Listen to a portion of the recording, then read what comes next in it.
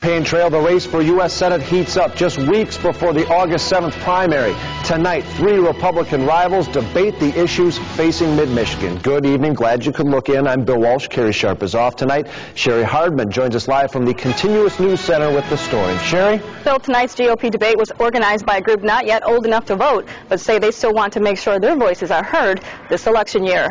The Huron County Teenage Republicans hosted a debate by the GOP candidates running for the United States Senate. It was held at the USA High School in Sebewaing tonight. The three candidates, Gary Glenn, Randy Hekman, and Clark Durant, took questions from a panel of teens about federal spending, student loans, and jobs. One teen asked the candidates about gridlock in Washington and what they would do about it if elected. I think we've got too many compromisers in the United States Congress.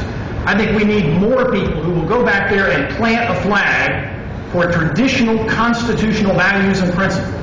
I am prepared to work with anybody in Washington to make the changes so that we have a future for this country. I have spent my life working with Democrats, independents, and Republicans, creating solutions that are market-based and freedom-oriented.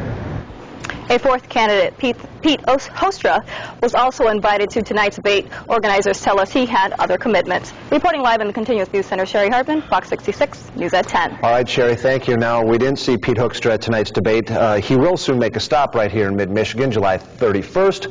Hoekstra holding a grassroots fundraiser at the Willow Tree Restaurant. That goes from 6 to 8 p.m., and it is free.